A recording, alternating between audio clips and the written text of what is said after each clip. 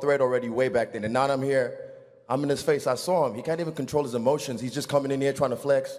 Don't worry. November 3rd, I will deliver. Israel, you're skinny, bro. Hey, you better lift some weights, man. You're skinny as hell. I'm not worried about you. I'm an all-American you. I might be the ugliest I'm thing, but I'll you whoop your ass any for day. three rounds, any bro, I single day. you. Yo, check my Instagram again. I just hit him with another nothing, meme. bro. And Your I got Instagram heat, mean nothing. heat coming at him. Means nothing. Hey, you built like a senior citizen. I'm not worried about